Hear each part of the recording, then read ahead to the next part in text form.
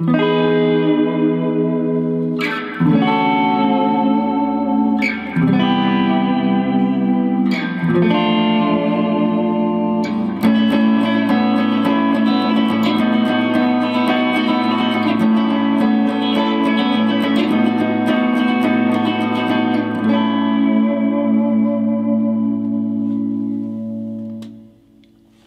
I'm Richard Storbeck of NashvilleGuitarStore.com, and what I'm going to talk about is choosing the right instrument for you, what feels comfortable. Now, we obviously go for an instrument that has looks, has appeal to you, and is says this is what this artist played, and that's what I want to play. And that's definitely a good way to start. It's an excellent way to start, come to think about it. The other thing to remember is every instrument that looks like this there might be 10 instruments that look exactly like this and all of them feel different. So, what makes an instrument comfortable? First off, does it sit comfortably in your lap? For me, I choose hollow bodies. It's just the instrument of choice that speaks well to me. It, they feel great when I play them and they sit well on my lap even when I'm standing and playing. Uh, Les Pauls are definitely great, but the bodies are too small for me and it just makes it very uncomfortable playing. You have to be comfortable while you play because if you're uncomfortable, your playing will suffer. Having said that, the other thing you need to keep in mind is how does the neck feel? Is it too fat? Is it too thin? Is it too wide? I mean, there's all these variables. So pick something that fits well in your hand. You're able to play all the notes.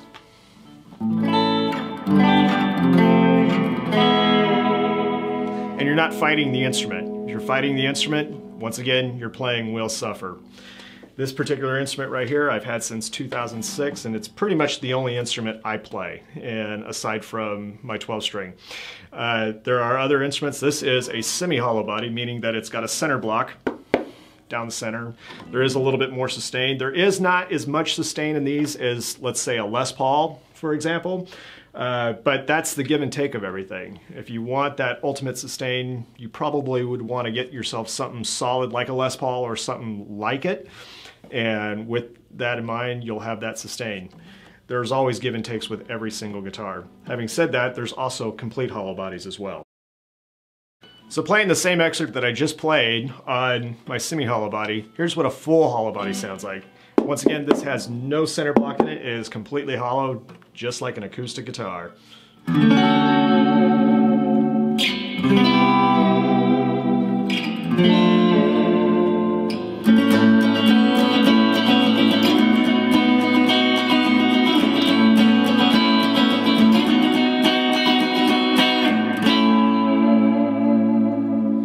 Got more of a ooh sound to it and not necessarily a bad thing. I would prefer a guitar like this too. It's just got a different flavor and it's a different character. Uh, Gretsch's to me say Monkees all over it, so it makes me want to play like something like Pleasant Valley Sunday.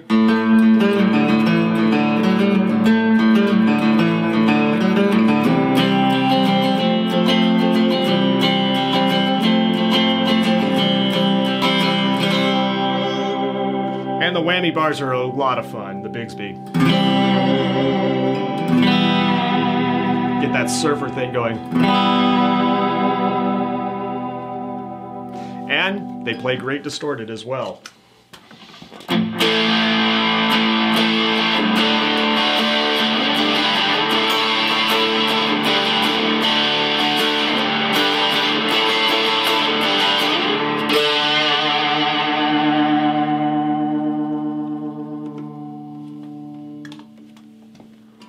Once again, I'm Richard Storbeck of NashvilleGuitarStore.com.